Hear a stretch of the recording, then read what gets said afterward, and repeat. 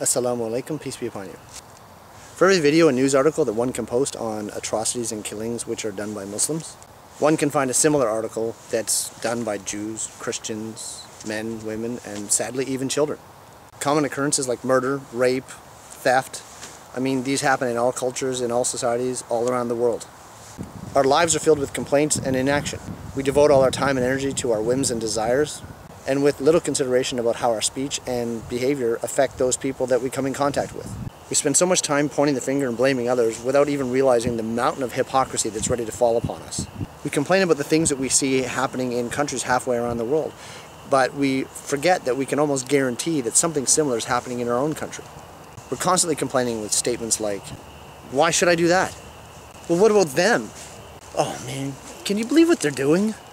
And one of my all-time favorites, well, what's in it for me? Astaghfirullah.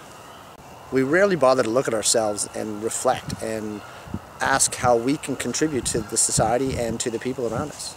Self-reflection is an important part of growth, and without it, we end up failing miserably in all aspects of our life.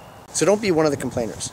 Be one of those who learn to reflect upon their action, and especially their inaction. So we can start by asking ourselves, how can I change my behavior? How can I change it in a way to benefit those around me? And so that I'm not actually part of the problem. Ask yourself if you've been one of the ones spreading hate and anger by preaching one side of an issue and ignoring the other.